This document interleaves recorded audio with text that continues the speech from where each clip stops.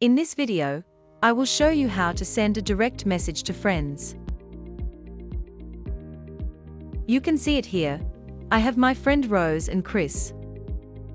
These two are those who I have shared my journal with. This chat allows you to chat and transfer the files related to your journal.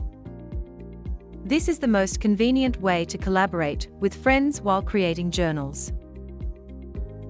You don't need other tools to transfer your photos, videos, music and text. It's a simple yet all-in-one solution to journaling. This is a one-to-one chat.